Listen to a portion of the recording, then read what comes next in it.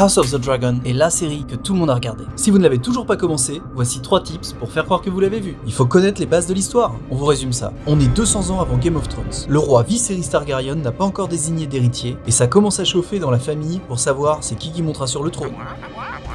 Alors Viserys verrait bien sa fille Rhaenyra, mais c'est pas trop la tradition. Daemon, le frère du roi, se verrait bien lui-même, mais il est un peu euh, caractériel. Il y a aussi Otto, la main du roi, c'est son bras droit en gros. Alors lui c'est un stratège le mec, il sait exactement comment parvenir à ses fins. Ah oui, oui au fait, il y a aussi un max de dragons dans cette série, mais du genre bien vénère.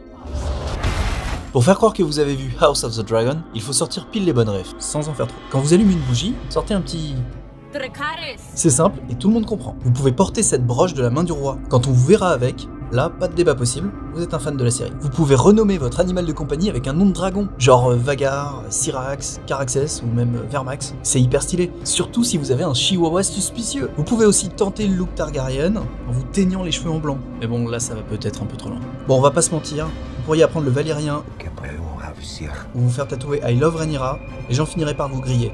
Le mieux, c'est encore de voir la série. C'est 10 épisodes incroyables que vous allez pouvoir savourer dans une qualité d'image 4K encore inédite, tranquillement chez vous, avec votre Chihuahua Syrax.